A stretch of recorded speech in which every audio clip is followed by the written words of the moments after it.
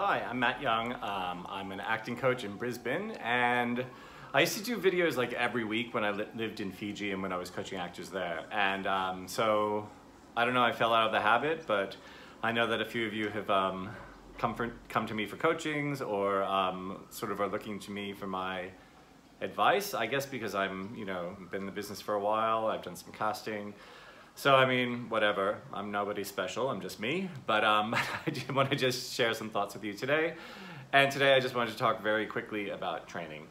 Um, so I do musical theater, so I'm a singer, and um, you know, I've been doing it for a while, so I don't need to, um, like I don't worry about, you know, that training about whether I'm gonna hit those notes or not because I find things that suit my voice really well. Um, however, having said that, you know, I'm always like so nervous when I have to sing and it's always so embarrassing for me. and I've got a big show coming up where I'm going to have to sing a lot. And I mean, the thing is when I'm in a show and I'm in the character, then the singing becomes part of the voice of the character, so I don't really have to worry about it. But what's important is that we have some technique under that, right? And so I have started my daily singing warm-ups again, um, which again is like hideous and it's so embarrassing. And you know, I live, I share the house with people and I have to go and hide somewhere and sing.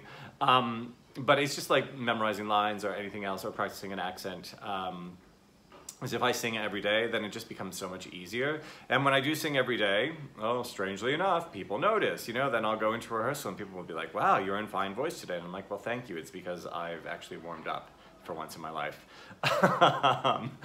so yeah, because it's a muscle and it just builds up. And so I guess that's the whole point of the whole video today is eh, all aspects of acting are a muscle and um, just like I go to the gym every day, now I'm going to be singing every day. I'm going to be looking after what I eat and how much I sleep, and um, just treating this like the athletic body that it is. And I know that that's always, people always laugh at me when I say that, um, but professional level acting is an athleticism that is, you know, needs a lot of work to be maintained. So that's my advice for today. If you're a singer, practice your vocalises every day. Maybe take one day off. okay, Sundays. All right, thank you.